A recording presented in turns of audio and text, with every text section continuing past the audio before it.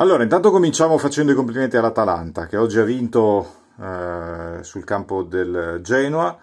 e si è qualificato per il terzo anno consecutivo per la Champions League, quindi complimenti a loro. Devo dire che insomma, è un'impresa mantenere una squadra del livello della Dea costantemente a quei livelli, quindi bravo Gasperini, bravi tutti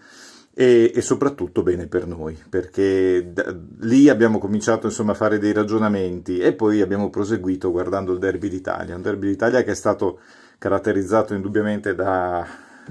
insomma, da, un, da un, sacco di episodi, eh, un primo tempo dove la Juventus forse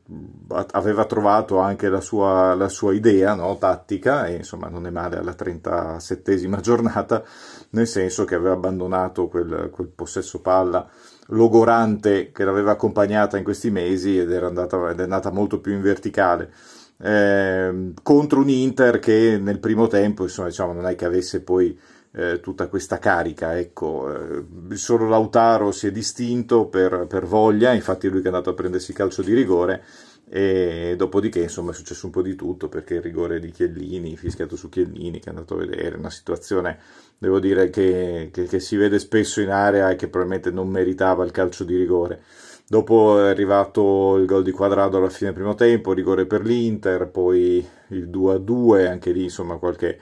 eh, contestazione, non si è capito bene chi tirasse chi, in ogni caso poi dopo è arrivato il fallo di Perisic su Quadrado boh, non ho, non ho, l'ho guardato un po' di volte, non ho capito se ci sia stato il contatto, indubbiamente Quadrato è andato a cercarsi, in diretta non avrei mai detto che quello potesse essere calcio di rigore, in diretta, poi dopo,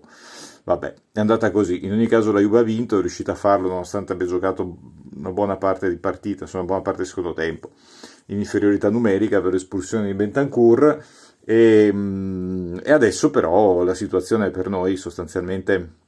non cambia rispetto a quello che pensavo, cioè rispetto a quello che pensavo in molti, cioè il fatto che noi dobbiamo vincere domani e dobbiamo conquistarci la nostra Champions League. Se domani il Milan vince, è matematicamente in Champions League, perché siamo a pari punti con la Juve, è vero, però eh, con, cioè, siamo a pari punti con la Juve, se noi vinciamo andiamo tre punti avanti, anche dovessimo perdere a Bergamo l'ultima e la Juve vincere, arriveremmo a pari punti con loro e, e, e quindi non c'è più tutto quello. La vittoria dell'Atalanta ha spazzato via tutta quella cosa della classifica avulsa e tutte quelle eh, complicazioni insomma, che immaginavo non, non potessero arrivare. Eh, perché ci, ci, voleva una combinazione insomma, di, di, di, di, allineamenti astrali ecco, molto particolari. In ogni caso ehm, il destino è nelle nostre mani, adesso vediamo un po' cosa succede perché poi eh, vedremo domani il Benevento cosa farà perché gioca col Crotone. Se vince il Cagliari non è ancora salvo perché dunque vado a memoria, ma il Benevento ha 31 punti, il Cagliari ha 36. Va a 34 se vince, quindi il Cagliari resta due punti, poi però c'è il Toro di mezzo, perché oggi lo Spezia si è salvato battendo il Torino, Torino in colossale caduta libera, veramente una squadra che, che, che che abbiamo veramente sotterrato non solo di gol, ma anche da un punto di vista proprio de, de, de, della psicologia, perché oggi è andata e a parte 10 minuti veramente è stata in balia dello Spezia. Ehm, dicevo, se domani Benevento vince, ehm, il Cagliari potrebbe avere ancora qualche preoccupazione, anche se poi anche loro, ripeto, hanno il Torino in mezzo, quindi insomma la situazione è all'ultima, c'è proprio Benevento-Torino o Torino-Benevento, adesso credo Torino-Benevento anzi sono sicuro, Torino-Benevento. Quindi la situazione è, è, questa, noi domani dobbiamo vincere, eh, non sarà una partita semplice, ma questo lo sapevamo già, però ecco, a questo punto credo che eh, eh, onestamente eh, faccio fatica a immaginarmi scenari diversi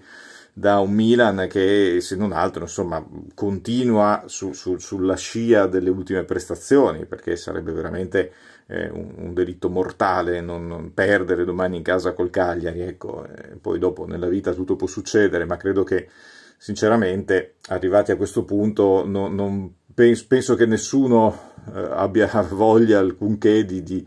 eh, alcuna di, di mettersi nelle, mani dell'ultima partita in casa dell'Atalanta che insomma negli ultimi anni non è che ci abbia sorriso molto come trasferta, per cui credo che ci sarà tanta voglia, tanta grinta da parte dei ragazzi, domani ne parliamo, parliamo anche della partita, insomma,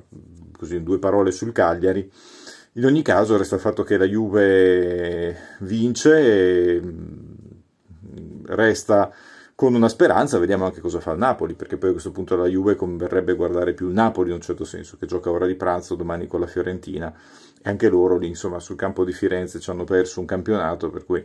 eh, staranno ben, benché attenti, ecco. Eh, ho letto di tante recriminazioni nei confronti dell'Inter, perché non è scesa in campo col fuoco, e,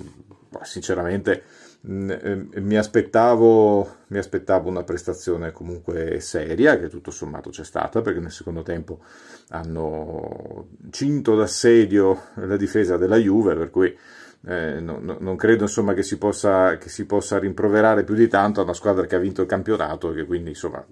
sappiamo che quando raggiungi il tuo obiettivo, dopo un po' la tensione si allenta. Di fronte ha avuto anche una Juve che ci ha messo tutto quello che, che, che poteva metterci, tra l'altro con eh, due dei tre migliori giocatori che ha in rosa, che eh, hanno fatto una grande partita, mi riferisco